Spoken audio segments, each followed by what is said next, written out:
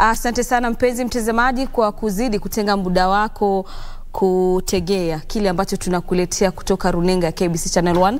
Na baada ya kukuletea taarifa kwenye kitengo cha kurunzi mashinani, niruhusu sasa niingie katika awamu yetu ya pili ya Tamrini, ambapo leo tunaangazia siku ya mtoto wa Kiafrika. Kumbuka kwamba sherehe za siku hizi zitakuwa zinaadhimishwa tarehe kumi na sita. Kwa hivyo basi ni siku tatu tu kabla ya sherehe hizo kufanyika nchini Kenya na katika bara Afrika. Na studioni ninaye Joe Jack Matika ambaye ni meneja wa mipango katika Kono Koinonia community. Koinonia ni jina ambalo limekuwa likinitenga jamii ya Koinonia Koinonia. Koinonia. Yes. Hayo basi, Jack, karibu sana kwenye studio zetu za KBC, na moja kwa moja, kabla hatujang'oa nanga sana, pengine ningekuruhusu tu utueleze na ueleze watazamaji wetu siku hii ya tarehe kumi na sita, siku ya mtoto wa Kiafrika ilianzishwa lini na malengo yake huwa ni yapi? Wow. Uh, hii siku ni muhimu sana Afrika kwa maana uh, wakati wa ukoloni pale uh, Afrika Kusini kulikuwa na changamoto nyingi sana hasa kwa mtoto Mwafrika. Unapata ya kwamba masomo ilikuwa ya duni sana. Uh, ukiongea mambo ya malazi ilikuwa duni sana na kila, uh, kila kitu ambao uh, wazungu walikuwa wanafanya basi kulikuwa na adhari sana kwa watoto au mtoto Mwafrika. Mambo ya uh, madawa hospitalini, matibabu ilikuwa chini sana, na kwa hivyo uh, jumuiya ya Afrika wakakaa chini wakaona ya kwamba ni muhimu sana uh, Waafrika kukuwa na msimamo na kuhakikisha ya kwamba uh, mtoto Mwafrika amelindwa, na ni kwa sababu ya hayo yote eh, walikaa chini na wakaamua ya kwamba siku kama hii ni muhimu sana na kila uh, nchi ya Afrika kujadiliana uh, umuhimu wa kulinda mtoto wa Afrika. Naam. Pengine ungetueleza zaidi kuhusiana na ni siku ambayo inaadhimishwa mwaka baada ya mwingine. Naam, naam. Sasa mada ya mwaka huu mtakuwa mnaangazia masala gani ikilinganishwa kwamba ni siku tatu tu zimesalia, na pengine utueleze zaidi, pengine pia mada ya mwaka huu itakuwa mm -hmm. inatokana na nini na yale ambayo yalifikiwa katika sherehe zilizopita mwaka jana mm -hmm. na hasa hasa miaka iliyopita. Ah, kasanda sana dadangu Gladys. Ah, mwaka huu ah, Afrika kwa jumla tunaangalia na tunaangalia mtoto wa Mwafrika ni vipi tunaweza mlinda hasa ikikuwa iki- kwa mambo ya, ya teknolojia ambayo iko kwa sasa. Eh, ni vipi wanaweza lindwa kama watoto, na pia tusiwe na wakati ambao tunasema basi ni wale ambao wakubwa wanafaa kutumia vitu fulani kama hizo za teknolojia kama simu, and then mtoto afai kutumia vitu kama hivyo. Ni vile ni uh, umuhimu wa kila nchi uh, wazazi na wale wote ambao wanahusika na hii uh, haki ya watoto kuhakikisha ya kwamba wamepewa wamepewa nafasi pia wa kusema yale ambao wanataka kama watoto na kuhakikishia kwamba haki yao yamelindwa kwa e, mambo ya teknolojia, kwa maana utapata teknolojia imekuja na madhara mengi sana. Utapata ya kwamba watu wanasema ah, watoto hawafai kuwa na rununu, watoto hawafai kuwa na, unapata unanyima mtoto pia haki. Kwa hivyo basi e, jamii e, ya Afrika wote wamekaa chini na wakaona ya kwamba pia mtoto anafaa kupewa nafasi ya kutumia teknolojia, lakini awe na na mtu ambaye anamhusisha ama kumpatia mawaidha ni nini anafaa kutumia pale. Unapata tuna, tunaendelea kuongea uh, ama kudumisha haki ya mtoto. Kila kitu ambayo tunaongea ni haki ya mtoto. Mm. Naam. Umezungumzia kuhusiana na masuala ya changamoto ambazo pengine ni baadhi ya changamoto ambazo zinakabili watoto, lakini swali langu ni je, katika sherehe za mwaka uliopita kuna changamoto ambazo ziliibuka, mojawapo iki, ikiwa ni ukosefu wa masuala muhimu sana kama mm -hmm. vile elimu. Tuzungumzie sasa umuhimu wa jamii mm -hmm. ama wajibu wa jamii katika kuhakikisha kwamba zile changamoto ni kwamba kila mtoto barani Afrika ana uwezo ama anapata ile haki yake ya kuafikia masuala ya elimu. Mhm. Eh, dada Gladys, um, elimu ni kitu muhimu sana, na wacha sasa turudi nchi yetu. Ni jukumu la serikali, hasa tukisema watoto watoto watoto, bali tukuje tu, tujue ya kwamba eh, ni jukumu la serikali kuhakikisha ya kwamba kila mtoto amepata nafasi ya kwenda shule na kupata elimu ambayo inatakikana. So uh, tofauti tu ya mzazi anafaa kupeleka mtoto shule, basi uh, sisi kama shirika ambayo inaangalia Koinonia inaangalia ama inadumisha sana haki ya mtoto kwa masomo, kwanza tunaongea na serikali ya kwamba uh, ni jukumu lao kuhakikisha kwamba kila mtoto ako shule, na nimeona ya kwamba kumekuwa na, na kujadiliana serikali uh, na uh, shule na wale ambao wanalinda uh, watoto pale nyumbani, wazazi wanaambiwa ya kwamba ni lazima kila mtoto aende shule. So tunapata ya kwamba serikali imepiga hatua kuhakikisha kwamba hayo inawezekana. Tukirudi tena humu nchi yetu Kenya, una, tunapata ya kwamba serikali imesema elimu ya primary school hakutakuwa na kitu ambao walimu wanalipa ama mzazi analipa. Utapata ya kwamba kuna shida bado na hiyo basi, serikali inafaa kuangalia mtoto ule anatoka pale Madhare, amevaa uniform, anaenda shule, amefika pale maybe ya kulipa tuition fee. Hii tuition fee itafanya mtoto atatolewa pale shule arudi nyumbani. mm -hmm. Mtoto akona haki ya kuwa shule basi, na unapata juu ya hiyo tuition fee atafukuzwa atoke pale nje. So ni jukumu la serikali kuhakikisha kwamba elimu pale shuleni, vitu kama hizo wanaondoa. Tusije tunasema basi elimu ni bure na bado unapata pale shule watoto watafukuzwa kutoka pale shuleni kurudi nyumbani. So ni lazima serikali hakisha pale shuleni vitu kama hizo haziendelei kabisa. Kuna ile masomo ya ziada pia, ndio maana unapata wanalipa hizo hela. Kama serikali inaweza ongea na walimu wale wameandikwa pale, basi wawe na nafasi ya kulipa walimu ili pale watoto wasiwe ndio wanafukuzwa wana rudi nyumbani. So ni muhimu sana. And then pia utapata tukiongea mambo ya uh, masomo, kuna hii uniform, sijui itakuwaje, basi mavazi ya shule. Utapata ya kwamba sare ya, ya, ya shule. Utapata ya kwamba mzazi yule anakaa pale madhari ni mzazi ambayo hana hela, uenda pale uni, uniform kununuliwa ni kitu almost 5000 mzazi yule anakaa pale madhari ndio mtoto wake aende shule, ataendaje dadangu? So ni jukumu ya serikali pia kuingilia kati hapa hizi sare za shule, kama kuna vile wanaweza hakikisha kwamba watoto wapate pale shuleni, itapatia wazazi ama watoto wengi hapa nchi yenu nchi yetu sorry, wawe na nafasi ya kuenda shule. Mm. Nafikiri Jack, kando na masala ya elimu, umetueleza kwamba sheria hizi zilianzishwa kutokana na ghasia za Afrika Kusini miaka ya kenda mia sabini na sita hivi. Naam. Lakini kando na hivyo ni kwamba kila siku tunapozidi kusherehekea siku ya watoto duniani mm -hmm. na, na barani Afrika kwa jumla ni kwamba kumekuwepo na changamoto ambazo zimekuwa zikitolewa mwaka baada ya mwingine, na baadhi ya, ya haya um, uh, hizi changamoto na mateso ambayo yanalimbikiziwa watoto na Naam. unyanyasaji yanatoka baina ya jamii na kwetu sisi ambao tunatarajiwa mm -hmm. kuwakinga wale watoto dhidi ya unyanyasaji na mateso haya. Ningependa pengine kusikia kutoka kwako ukiwa mtaalamu wa masala ya watoto, pengine jinsi ambavyo watoto wanaweza kuripoti unyanyasaji ambao umetendeka kwako kama mtoto unaripoti vipi na wanafaa kuripoti wapi? Maanake wakati mwingine unapata kwamba wale wazazi ambao wametikwa jukumu la kuhakikisha kwamba watoto wako salama, wao ndio wanaoelekea kuwanyanyasa. Unapata kwamba kama vile mtoto wa kiume Mm -hmm. anafanyiwa mambo pale kwenye jamii, unahisi kwamba tumepata ripoti huku nchini Kenya kwamba baba na mwanawe tayari kuna mtoto kando na mamangu, kwamba unapata kwamba watoto wanawabaka watoto wao wasichana kiasi kwamba unapata kwamba inafikia wakati ambapo hata wao wanazaa. Uh, nashukuru sana dadangu Gladys. Uh, swali kama hayo sisi kama uh, shirika la Koinonia Community tunaipata kila wakati, na wiki uliopita hapa Ngong tulipata tulipigiwa simu na chief ya kwamba kuna mtoto darasa la sita uh, ambayo amekuwa akitendewa akidhulumiwa na watoto wenzao wale pale ambao wanaishi pale nyumbani, na imekuwa ikiendelea kwa mwezi kama tatu hivyo.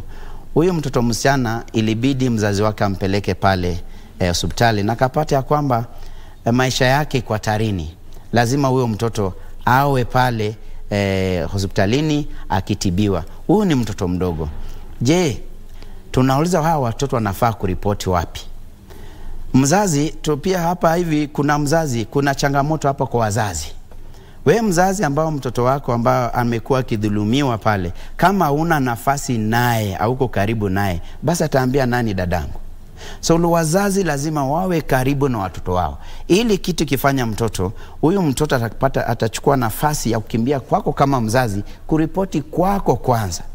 Mara nyingi utapata watoto hawana mzazi, hayuko karibu, bali ataripotia nani? Saa zingine kwenda hata kwa chief pale penye chief hapo ni ngumu, ameogopa, amejua pale hey, yule amevaa uniform, uniform sare ya polisi hey, nikiona huyu mtu anashika watu. Basi kwanza jukumu iko eh, kwa wazazi wakisha wako karibu na watoto wao sasa, ili kitu kama hiyo kifanyike, wakisha kwamba wanachukua wana, wana nafasi ya kuaddress hiyo. Uliuliza swali mtoto pale, kwanza ni wazazi na pale shuleni wawe na masomo, wanaambiwa kitu kifanya wewe kama mtoto, kimbia pale kanisani, kwa maana utapata hizi ni vitu ambavyo ziko karibu na sisi.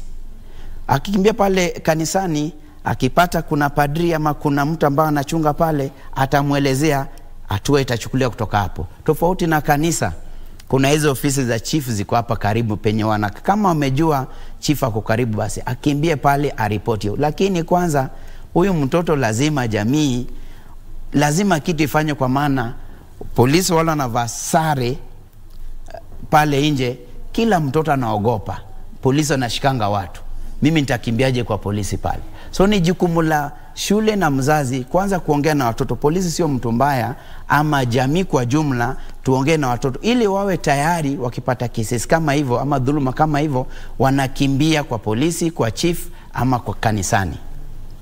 Naam, atakuuliza mtu ambaye amelelewa na mm -hmm mama mmoja ama mzazi mmoja ama baba. Wakati mwingine unapata ilivyoko kwa sasa ni kwamba kutokana na masuala ambayo yanapitiwa tu katika jamii, unapata kwamba watoto inafika mahali mnagawana.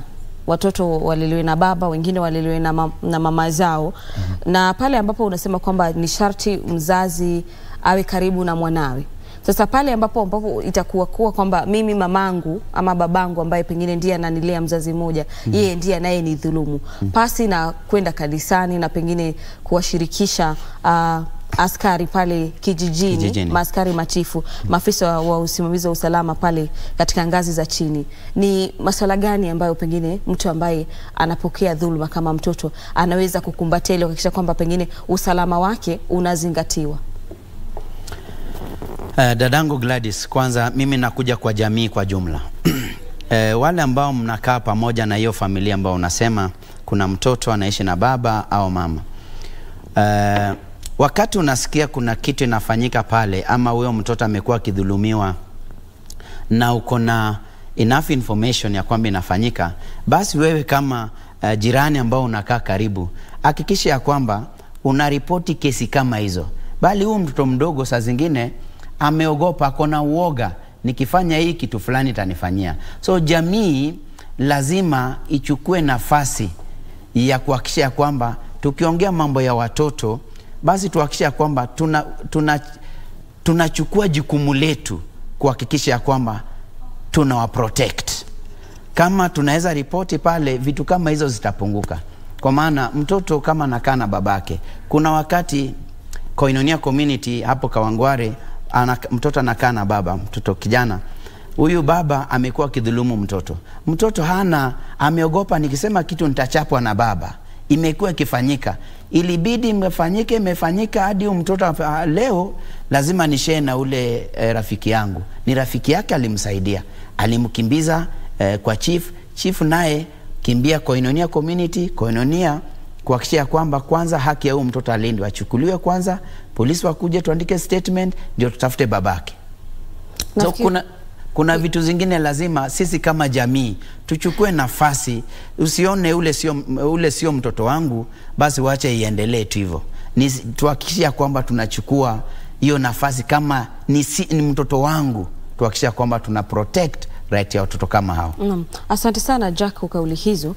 Pengine tuangazie ta swala jingine kuhusiana na swala hili tu, na sherehe hizi zitakuwa zinafanyika wakati ambapo kumekuwa na shinikizo kwamba watoke, watoto watoke barabarani mm -hmm. na unafahamu kwamba tulipokuwa tukizungumza ukaniambia kwamba mko tu sio katika taifa la Kenya bali mko katika mataifa mengine kama vile Zambia. Naam, naam. Sasa swali langu ni je, pengine sherehe hizi tutakapokuwa tunaziadhimisha ni kwamba idadi ya watoto wanaorandaranda mitaani inazidi kuongezeka. Kufikia sasa nafikiri wadadisi na pia mashirika ambayo mnashughulika na masuala ya watoto mmeratibu kwamba idadi ya watoto wanaorandaranda mitaani hasa Kenya inakaribia elfu hamsini hivi.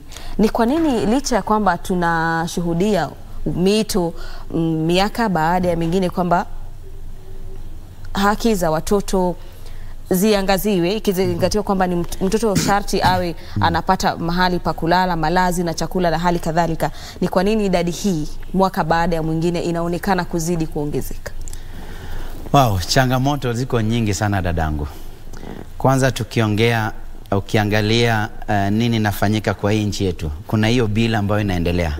Umesikia wazazi wengi wanalia sana, kuna wale ambao hawezi imudu, na mtoto ambaye anakaa pale Madhare, mtoto ambaye anakaa pale Korokocho, mzazi awezi mpatia chakula ya mchana tu peke yake. Utapata huu mtoto hana nia ingine badi ni kuenda pale mjini kuanza kuombaomba, kwa sababu mzazi wake aezi So poverty imekuwa eh, kilio sana ya wale watoto ambao tunapata pale mtaani.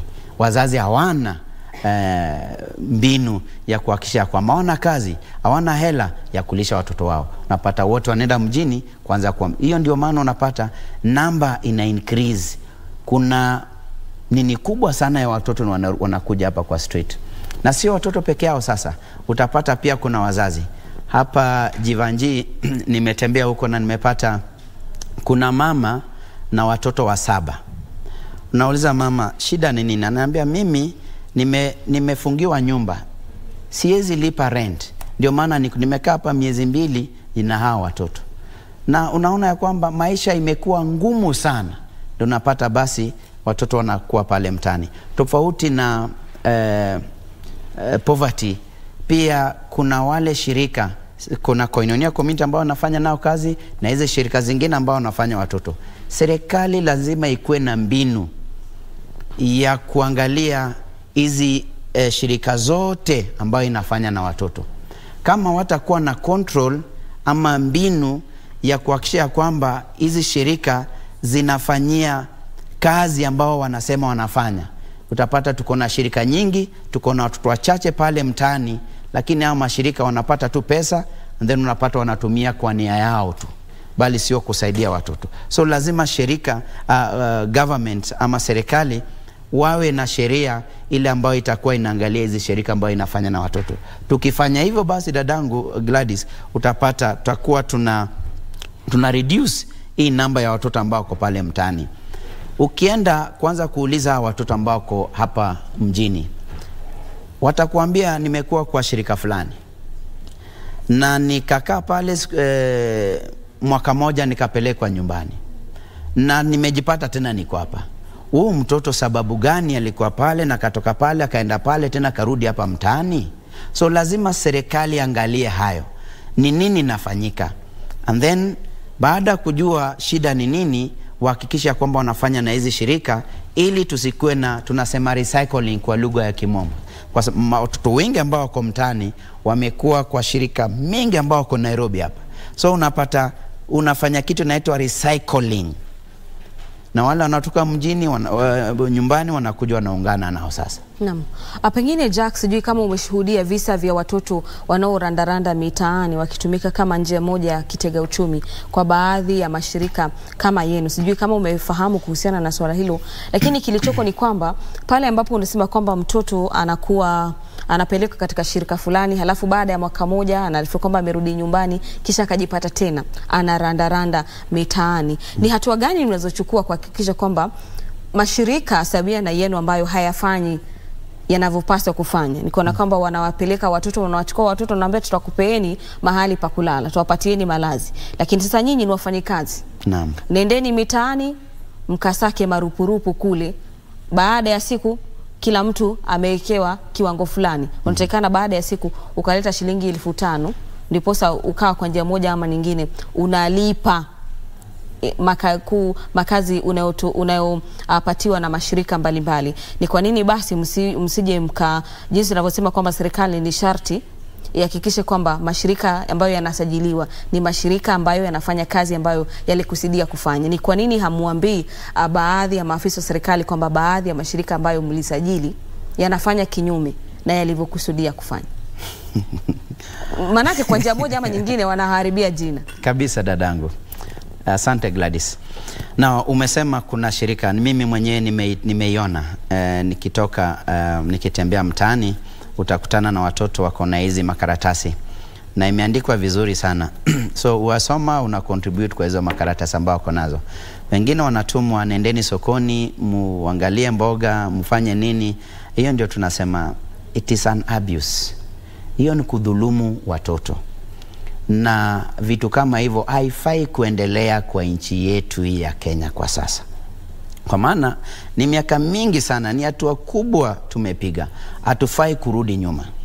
Na serikali hii ya mheshimiwa uh, uh, William Ruto, niko na hakika kulingana na ile mpango naona wanaweka kwa kila uh, uh, zile wa, maofisi wanafanya na watoto, nimeona kama wanaweka mpangilio ya kuangalia shirika kama hao, na pale Lang'ata niliona ya kwamba kuna kama shirika nne ambao zilifungwa, na ni kwa haki, kwa maana kama wewe uko na shirika ambao unasema unataka kusaidia watoto kama hao, bali unataka kujitayarisha wewe kukuwa na mali na kujenga, kuwa na mashamba, haufai kukuwa hapo na nashukuru sana serikali kwa sababu kuna zile hatua ambao wanachukua.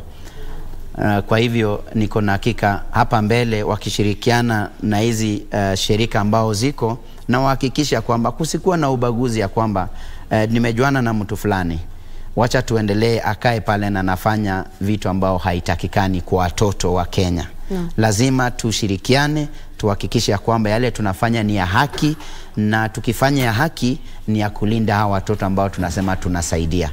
Na Koinonia Community ambayo nimekuambia imetia mzizi hapa Kenya, uh, Nairobi and then tumesema tuko pale Zambia na Sudan. Sisi tuna, kama Koinonia Community tunahakikisha kwamba haki ya mtoto imesikika na uh, mtu wote ambao anaenda na ki, uh, ki, anafanya kinyume na yale ambao tunafanya, mara nyingi sana tunaongea na chief ama na wale eh, department ya watoto ambao tumejuana nao ili wao wenyewe waanze kuchukua hatua. Naam. Asante sana Jack, na sijui kama kana kwamba unafahamu, jana ilikuwa ni siku ya ajira kwa watoto duniani, na siku hii ina inawadia tu siku kadhaa kabla ya kuadhimisha kwa uh, siku ya mtoto wa Kiafrika. Uh, pengine tuzungumzie tu tunapoelekea um, kutamatisha kipindi hiki mm-hmm. swala la kuhakikisha kwamba watoto hawafanyishwi kazi kadri, kabla ya kufikia kuwafikia ule umri wa miaka kumi na minane. mm-hmm. Umuhimu wa jamii kuhakikisha kwamba watoto, unapata kwamba wengine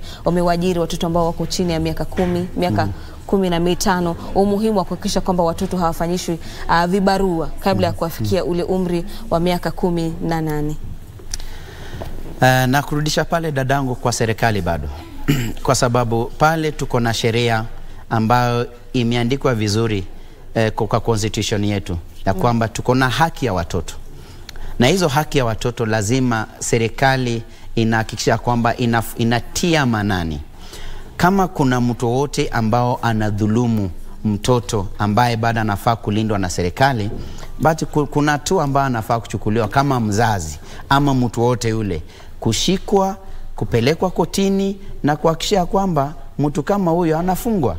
Kwa maana sisi kama nchi tunasema hatutaki kupiga tena hatua kurudi nyuma, tunataka kuendelea mbele na tuhakikishia kwamba sisi kama nchi haki ya watoto tumetilia maanani sana. mm-hmm. Ndio tumeziona pale, ukienda Kilifi uh, Koinonia Community tu wameamua kwamba walitembea pale wakaona pale shida ziko nyingi sana.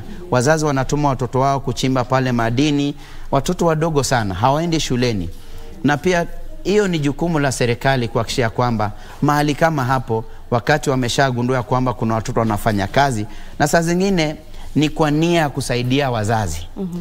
Anaona mamake hana, hana maybe ni mlemavu, haezi tembea, na yeye mtoto anaona ya kwamba wacha niende nifanye ili nisaidie mzazi wangu.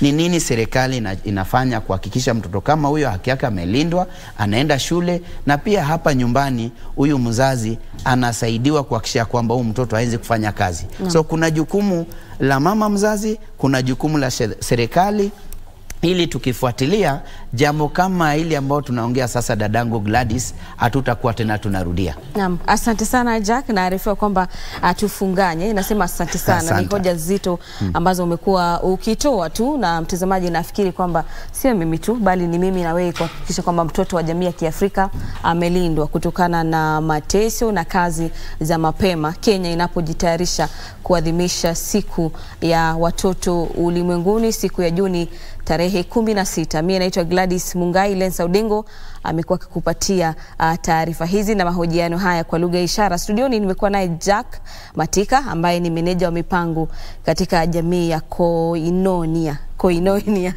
ni jina zito tu. Mtazamaji, mie naomba nikuage kwa sasa. Nasema asantana kwa utazamaji wako unakuacha na mwenzangu Irene Muchuma akujuze mengi kwenye kitengo chetu cha Lunchtime News.